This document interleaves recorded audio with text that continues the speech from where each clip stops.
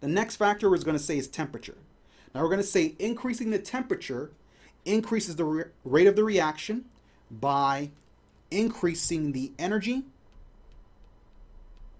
and frequency of collisions. Think about it like this. If we increase the heat around a container that's filled with gas molecules, those gas molecules start to get excited because what's happening is they're going to absorb the thermal energy from the heat source. They then convert this thermal energy into kinetic energy, energy of motion. And in that way, they're going to move a lot faster. And again, what do we say? We say you have to move with enough energy. So you have to be moving a lot faster in order to collide hard enough to stick together.